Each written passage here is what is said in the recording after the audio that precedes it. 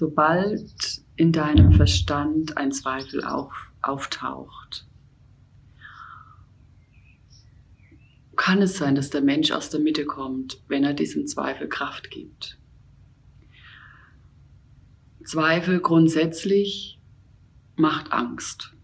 Das heißt, die zweite Stufe des Zweifels ist einfach die Angst. Die dritte Stufe nach der Angst ist die Krankheit. Weil jeder negative Gedanke, dem du Kraft gibst, setzt Strukturen in deiner Aura. Hier so. Setzt ein, Strukturen, so dicke Knotenpunkte, wo die Energie nicht durchfließen kann. Das stoppt dann, weil du dauernd zweifelst. Und dadurch, durch dieses Stoppen, ist das System aus der Mitte, du selbst bist aus der Mitte und es entstehen Schmerzen am Körper. Die vierte Stufe wäre, aus diesen Schmerzen entsteht eine Krankheit. Es ist jetzt ganz kurz erklärt, wie es ist, wenn man zu zweifeln beginnt.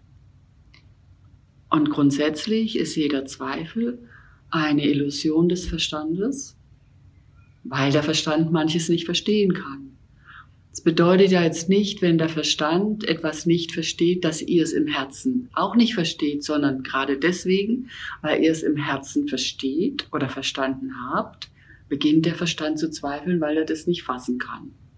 Weil das etwas ist, was man nicht hm, logisch erklären kann, was man nicht irgendwie äh, eben genau mit wissenschaftlichen Belegen hinterlegen kann, dann ist der Verstand eben aufgeschmissen. Und dann zweifelt er, das ganz normal. Aber ihr wisst für euch, sobald ein Zweifel auftaucht über etwas, was aus dem Herzensimpuls kommt oder über eine Energiearbeit, die ihr macht, ja, die ihr gelernt habt, was einfach aus. Ähm, dann wisst ihr, dass es nur ein, eine Illusion des Verstandes ist. Und dann könnt ihr damit leichter umgehen, dann lasst ihr die Zweifel wieder ziehen. Macht ihn nicht zu euch selbst. Jeder Zweifel bringt Angst und macht schwach. Wer will jetzt schon Angst haben und schwach sein? Das will ja niemand. Aber das ist die negative Struktur, welche euch eben oder welche allgemein die Menschen schwach macht. Grundlage ist das Vertrauen, das Vertrauen in sich selbst, das Vertrauen in die eigene Seele, in die Seelenführung durch die Herzensimpulse, die eben da sind, die geschickt werden von der Seele, damit ihr euren Seelenweg erkennt. Weil die Seele weiß genau, was gut und richtig ist. Und deswegen kommen ja die Impulse, mach jetzt dies, tu jetzt das. Deswegen habt ihr dann diese Herzensentscheidung, seid vollkommen begeistert und dann eine halbe Stunde später kommt der Verstand, sagt, sagen, Quatsch, das brauchst du jetzt nicht. Oder das kannst du nicht. Oder was auch immer dann für Glaubenssätze hochkommen. Und wenn man dann da reingeht, gibt man dem Zweifel eben Kraft. Und dann, je, je öfters man dem Zweifel Kraft gibt, äh, dann entsteht Angst. Und diese Angst ist eben der erste Schritt zu einer Krankheit. So ist es. Wenn man das weiß, kann man sein Leben besser steuern.